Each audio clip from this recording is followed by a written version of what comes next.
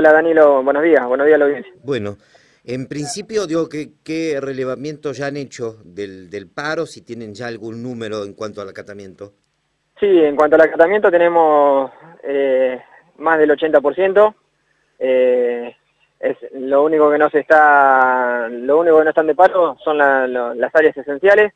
Eh, si hubiesen estado de paro también, eh, harían el 100%. Pero bueno, como son áreas esenciales, eh, no pueden parar. Así que la verdad que el, el acatamiento fue eh, contundente. José, respecto de esta información que nos llegó allí mientras el móvil estaba en la municipalidad, en algún momento de eh, cerrar las puertas, ¿qué, ¿qué hay con esto? No, eso no, no es real. Nosotros eh, dejamos la, las puertas abiertas, hay carteles que están de paro, cada una de las oficinas también pusieron un cartel que, que se encuentra de paro. Claro. Nosotros lo que estamos haciendo es eh, concientizar a la gente que estamos eh, en una medida de fuerza y le estamos explicando los motivos. Después si quiere pasar, eh, ingresa eh, y bueno, y en la oficina le, le, dirán que están de paro. Pero nosotros en ningún momento le estamos prohibiendo el ingreso al contribuyente. Bien.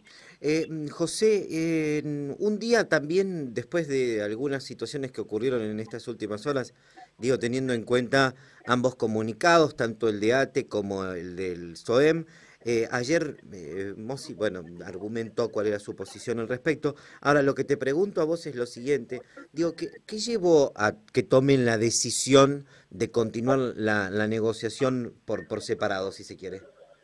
No, eh, la decisión que fue tomada eh, por la comisión directiva y el cuerpo delegado fue por una cuestión de que nosotros, en un principio cuando uno de los compañeros delegados de ATE propuso la unidad, nosotros mantuvimos una, una reunión con los compañeros de ATE y, y bueno, manifestamos que el, el, punto clave para que nosotros podamos mantener la unidad es el, el diálogo ¿sí? y, y, mantenernos comunicados continuamente. Y la unidad también habla de eh, mantener reuniones periódicas, cosa que ninguna de esas se, se mantuvo.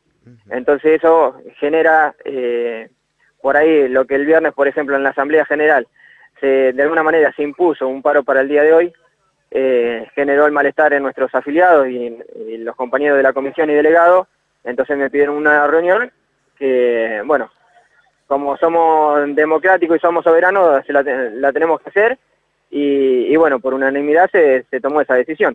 Perdón, ¿cómo se impuso? Claro, el, el, día, el día viernes hizo la, la, la Asamblea General, eh, bueno, en donde manifestamos lo que estaba sucediendo, la, la propuesta de, del Ejecutivo, y bueno, Miguel agarró y, y propuso el, el día miércoles eh, el paro. Entonces, ¿cuál era el tema? Uno por ahí, para no generar inconveniente entre los compañeros, ya que había muchos compañeros que participaban por primera vez en una asamblea, eh, lo que nosotros queremos es que se siga sumando gente y que hoy se está viendo que se sigue sumando. Entonces, para no generar un, un conflicto entre compañeros, lo dejamos pasar. Y después resulta que, que, bueno, nosotros nos enteramos de que hoy miércoles eh, ATE a nivel educación hacía, hacía, paro. a nivel provincia. Entonces, cuando lo obligaron se... a que esto se trataba de una cuestión política más que nada. Claro, hay, hay una intencionalidad, ¿viste? Y más allá de que, que sea así o no, eso hace ruido en cada uno de los compañeros y genera un malestar.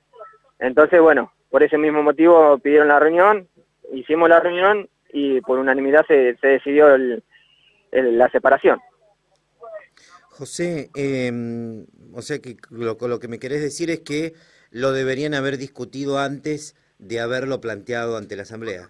Exactamente, nosotros tendríamos que haber bajado de, la reunión eh, haber tenido una, una charla previa y bueno, si lo queríamos resolver, esto, esto es como cuando, cuando hay una, una comisión directiva, en, cual, en cualquiera de los sindicatos, que una comisión directiva decide un día de paro, tendría que haber sucedido lo mismo. Y si no, se tendría que haber permitido emocionar a cada uno de los compañeros que, que ponga el día. Entonces, por decisión de, de los compañeros, lo hubiesen, lo hubiesen decidido. Claro. Eh, así que, bueno, por ese motivo eh, se tomó la decisión.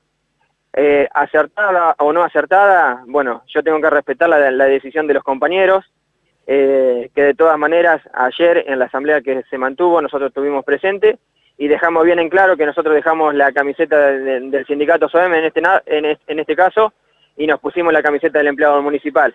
Entonces dejamos de lado cualquier diferencia y más allá de estar separados, vamos a seguir trabajando para que eh, el sueldo digno lo tengamos todos los trabajadores municipales. Sí, sin duda que estas, estos análisis por ahí que son más internos, digo, debiliten de alguna manera el, reclamo que están haciendo, que es un reclamo legítimo, el hecho de conseguir o conquistar derechos o, mejoras en la calidad de los trabajadores municipales, ¿no? Que ese es el foco que no hay que perder. Exacto, y, eh, y eso es lo que se manifestó ayer, y por eso creo que quedó bien en claro con los compañeros, eh, y bueno, y por eso mismo también nosotros acá estamos, hoy eh, acompañando a esta medida, que, fue en definitiva contundente, y, y bueno, todos los compañeros están acatando el paro. Así que eso habla muy bien de la decisión eh, que tomaron cada uno de los compañeros y también habla de que hay una realidad de que necesitamos un aumento salarial.